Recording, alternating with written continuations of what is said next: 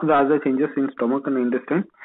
Uh, the synonym to these tests are stomach bowel test and or otherwise Breslau's second life test, wherein stomach intestine have been removed after tying in a ligature, after tying in a double ligature at the each end, and they have been placed in water.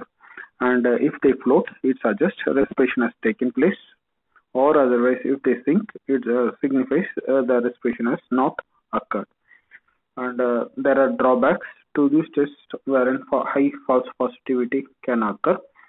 And uh, if there have been presence of any resuscitation atoms or there have been formation of gas bacterial gas formation in form of putrefaction then this test has no credibility.